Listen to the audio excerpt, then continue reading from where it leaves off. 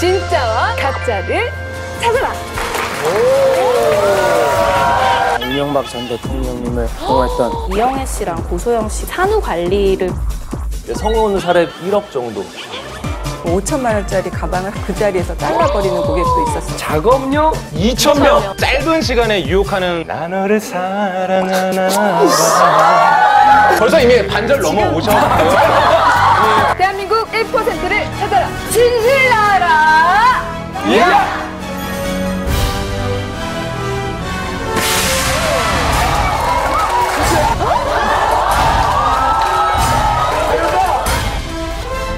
열한 시 여자가 탄력받는 시간. Story on.